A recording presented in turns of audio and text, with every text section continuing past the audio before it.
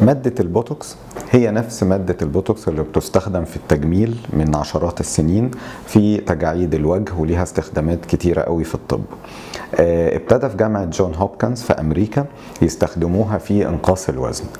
وده آه نتيجة إن إن البوتوكس معروف بتأثيره في تقليل انقباضات أي عضلة بيتحقن فيها.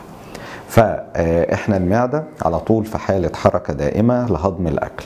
فلما بنحقن مادة البوتوكس في عضلات المعدة من الداخل عن طريق منظار المعدة ده بيؤدي إلى تقليل حركة المعدة. فبنطول فترة وجود الأكل في المعدة وبالتالي بيبقى الإحساس بالشبع والإحساس بالامتلاء والقدرة على الأكل بتقل بنسبة كبيرة.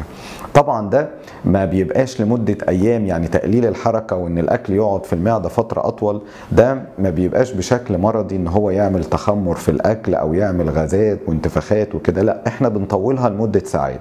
بدل ما الطبيعي المعدة تتخلص من الأكل بعد ساعتين ثلاثة فإحنا نجوع بعد أربع خمس ساعات لا المعدة بتتخلص من الأكل بعد سبع ثمان ساعات فإحنا في الفترة ديت بنبقى يعني لما بناكل بناكل كمية قليلة.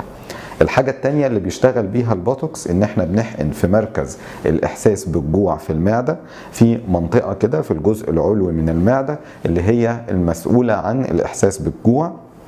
بتطلع هرمون اسمه جريلين هرمون ده اللي مسؤول عن الإحساس بالجوع. فبرضه لما بنحقن مادة البوتوكس فيها من الداخل بنقلل طلوع الهرمون ده فإحساسنا بالجوع بيقل بشكل كبير.